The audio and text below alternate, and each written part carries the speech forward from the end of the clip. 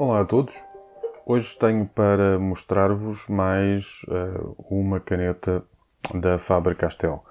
Uh, já viram assim uma um, um pouquinho da caneta na, na apresentação, uh, mas vamos ver em mais detalhe.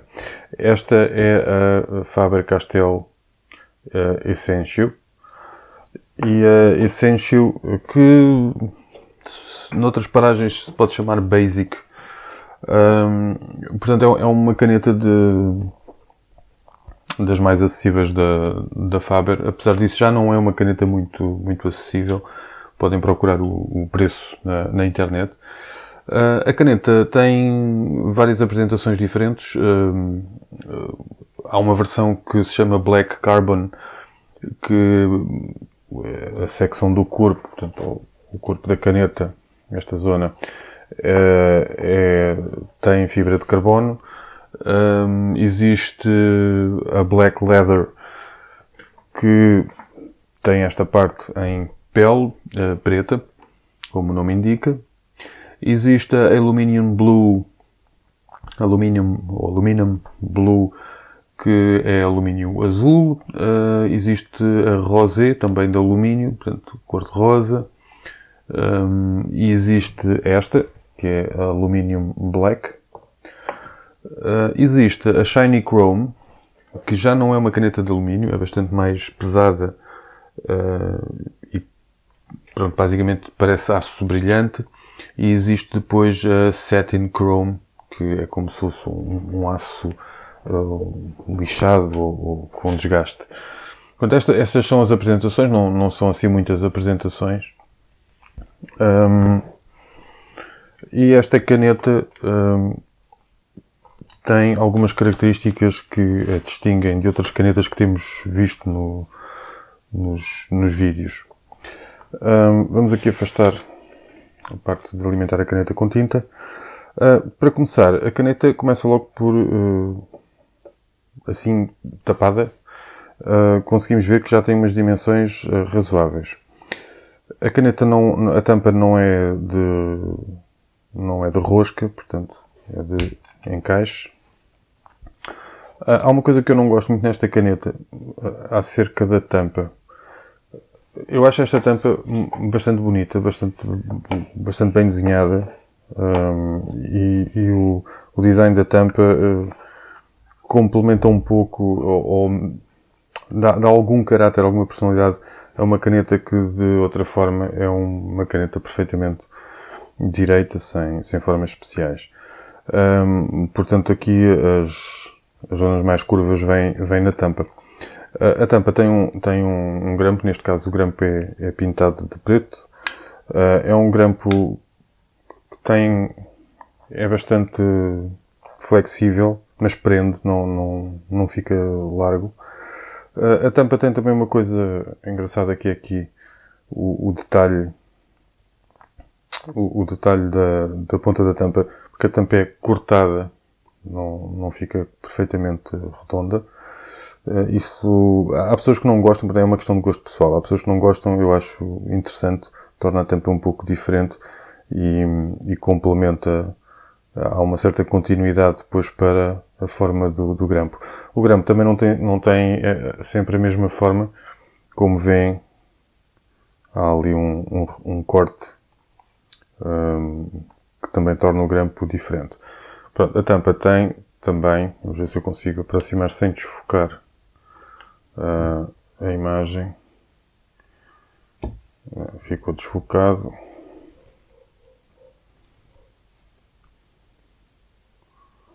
Pronto, mas conseguem ver que uh, pronto, traz o logotipo da, da Faber gravado no, na tampa.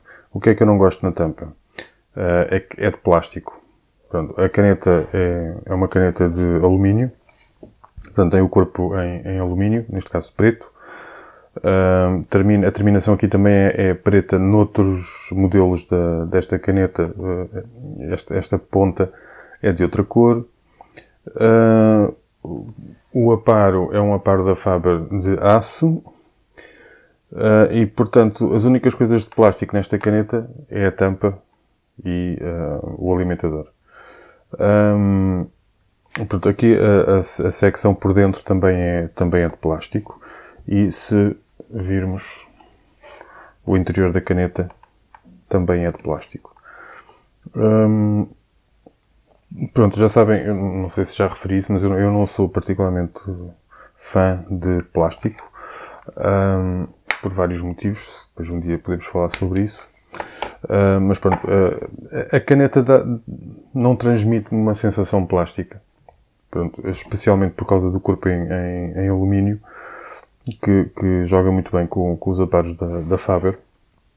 E, e, de facto a tampa parece não ter muito a ver com a caneta, parece que é uma tampa de outra caneta qualquer. E isso, não, há aqui uma dissonância qualquer no, nos dois elementos da, da caneta.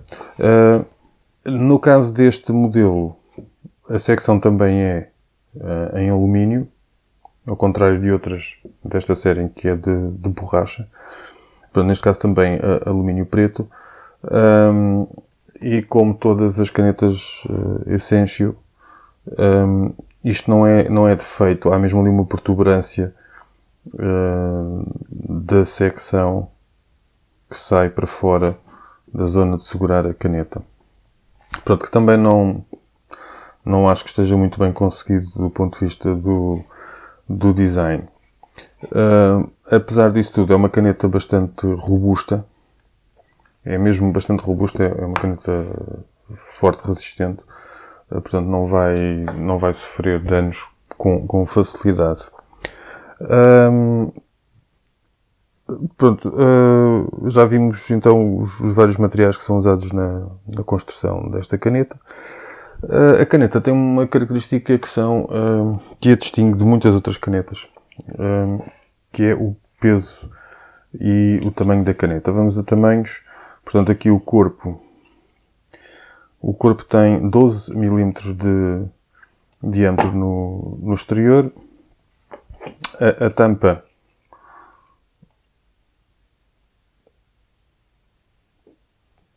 Portanto, a tampa tem 14 mm de diâmetro, sem contar com, com, com o grão. Portanto, é, é uma caneta já com um diâmetro maior do que, aqueles, do que algumas canetas que temos visto. E em termos de comprimento, uh, há aqui uma diferença muito grande entre esta caneta tapada ou não tapada. Portanto, ela, ela com a tampa fica com 14 uh, centímetros, 140 milímetros, portanto, aquilo que temos visto também noutras, noutras canetas. Um, sem, sem a tampa fica nos 13,5, também nada de, de especial, mas é uma caneta como veem, tem uma dimensão, os 13,5 são uma dimensão bastante, bastante interessante. Tem uma característica, a secção é muito longa, como vê, é uma secção bastante mais longa do que, do que é normal nas, nas canetas de tinta permanente, o que permite uh, segurar mais acima ou mais abaixo a caneta conforme, um, ehm, conforme aquilo que, que, que, seja mais confortável. Uh, as canetas da, da Faber, eh, esta, esta característica da caneta ter um eixo e, e, e, o alimentador e o aparo estão alinhados com esse eixo, portanto faz uma linha reta, vai, vai fazer com que se sinta a necessidade de segurar realmente a caneta mais, mais acima do que, do que é normal, mais longe do, do papel. Um, porém, há aqui uma característica engraçada.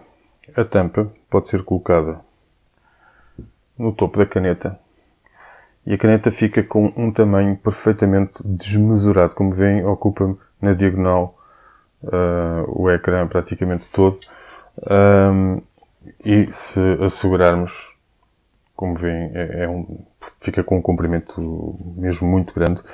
Eh, eu, eu, não sei se é para fazer lembrar eh, pronto, a, a, a, imagem ou da, da Faber com, com as lanças da, da peleja eh, medieval, mas pronto, realmente isto é, isto é uma autêntica lança.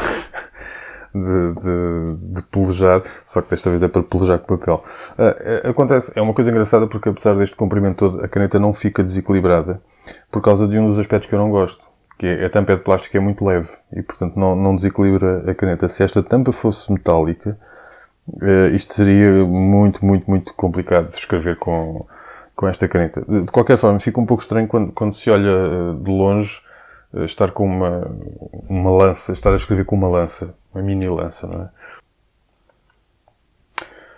Como é que podemos uh, alimentar esta caneta com tinta? Uh, existem várias formas. Os cartuchos pequenos. Esta caneta pode levar até dois cartuchos dos, dos pequenos. É? Ou então um cartucho com um espaçador. Pronto, é, que, é, que é habitual e é tradicional. Um, pode usar cartuchos dos maiores. Uh, e se quiserem podem comprar um, um conversor.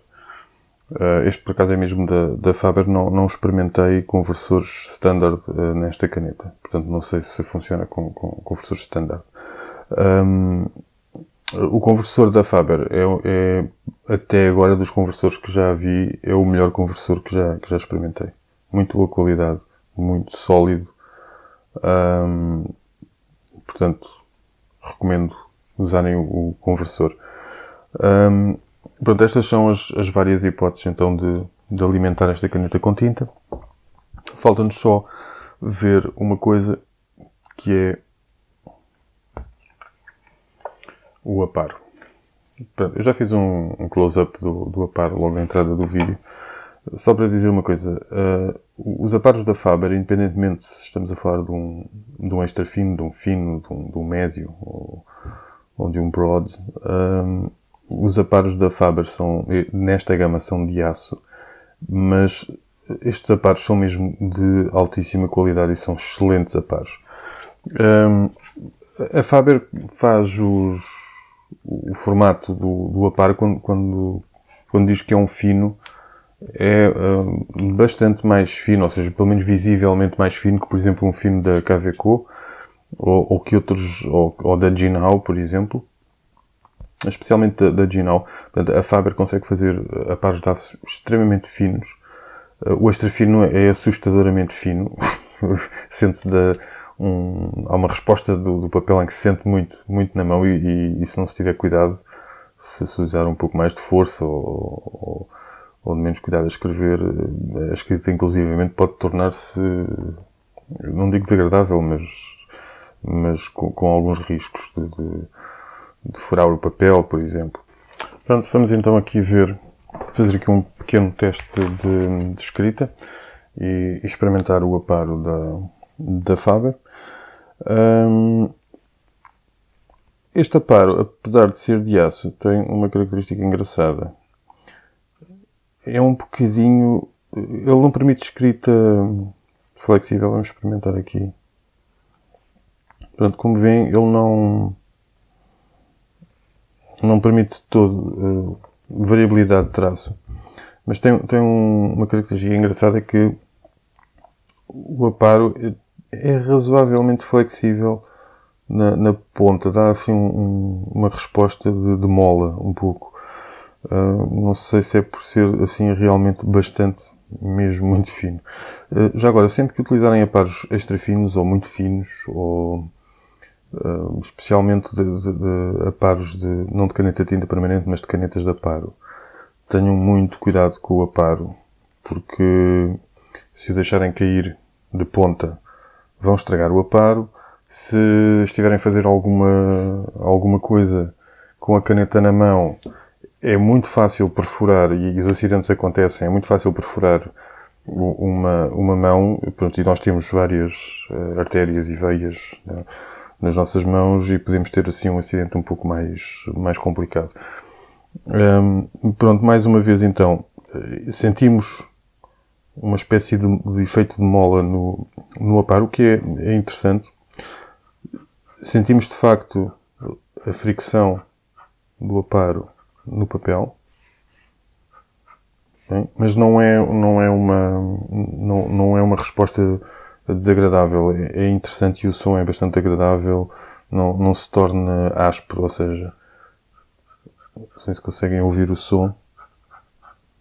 Pronto, hum, não, sentimos, sentimos resposta, mas não é áspero, não é desagradável e, e o apar flui com, com toda a facilidade. Uh, portanto, vamos então fazer. Portanto, como veem, não existe variabilidade do traço. Ele pode ser muito fino ou um pouco mais espesso, mas, uh, mas, mas no mesmo traço não varia, ok? Um, portanto, vamos fazer então aqui. Como veem, não há exatamente variabilidade de, de traço. Portanto, há, há uma é, consegue-se de forma muito ligeira e é preciso aplicar. Eu estou a aplicar eh, agora, por exemplo, é preciso aplicar suficientemente eh, força suficiente para, para dobrar o, a, a, ponta do apar. Não é boa ideia fazer isso com muita frequência. Mas, mas, mas veem que, que, que até consegue se, se, se arriscarmos um pouco. Um, pronto, em termos de, de escrita, pronto, não é, não é o apar mais suave do mundo, lá está, tem o tal, tem o tal uh, feedback que tínhamos falado, apesar de não ser desagradável.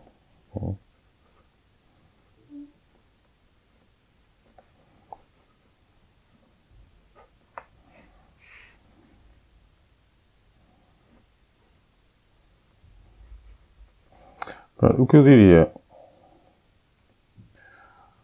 é que é uma caneta e um aparo extraordinários para quem gosta de desenhar. Muito mais do que para quem gosta de escrever. Um, porque ele consegue ser tão fino, tão fino,